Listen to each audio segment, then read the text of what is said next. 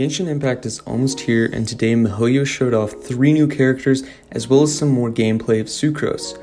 I'm really excited to show you guys these characters, so without delay, if you guys enjoyed the video, please be sure to subscribe for more Genshin Impact content every single week. This video was super unexpected, and to be honest, I'm actually just about to move, so recording and editing this on the floor is not super fun, but I do it for you guys, so let's get into it. MiHoYo released a few clips of different things and systems making their way into the game, like achievements, glider skins, as well as these new characters.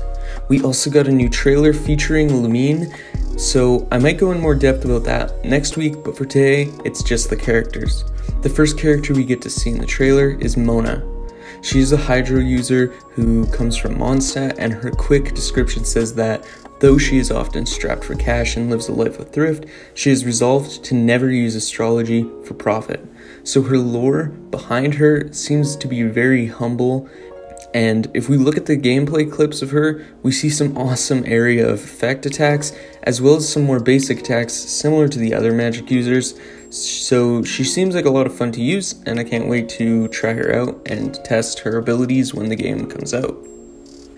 The next character we got to look at was some more of Sucrose.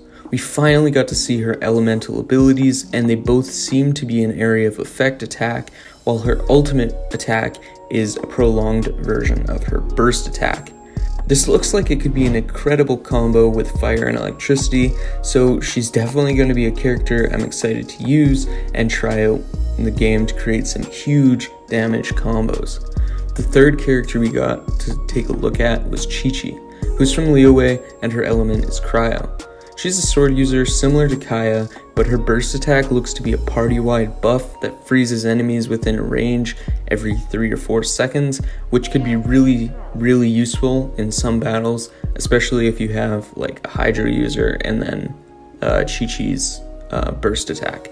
I'm not really sure what her elemental attack does, or her ultimate attack, sorry, but I look forward to trying it out and testing it to see what it really does in the game and if it's really any use in a party.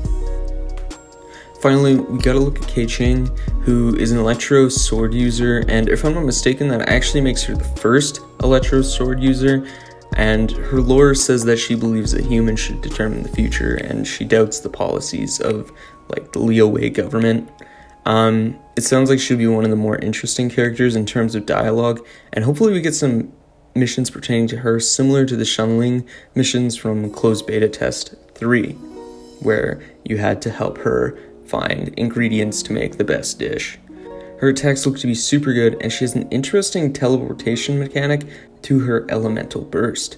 While her basic attack combo also appears to have some form of teleportation, it just looks a little more limited.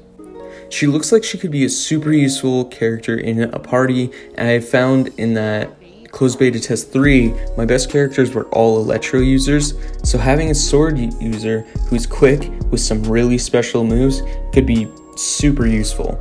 Of the three new characters shown, she has to be one of my favorites, and I really can't wait to have her in my party alongside with Sucrose. So yeah, today was just a really quick impromptu video but I hope you guys liked it and are excited for these new characters as much as I am. If you are, let me know down below which characters seemed the best or most interesting to you, and yeah, let's start a conversation about it. Thank you guys so much for watching, and I'll see you all next time.